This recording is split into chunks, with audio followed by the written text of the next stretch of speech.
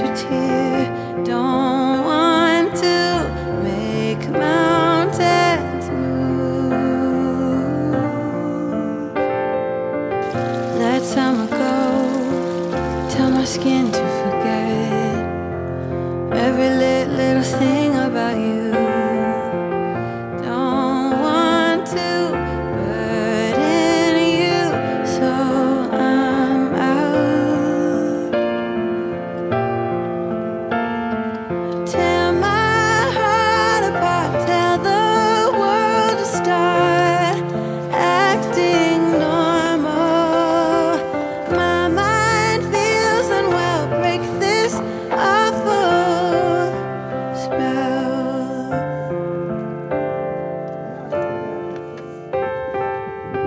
hear me out, come down so that we can lay still for a while.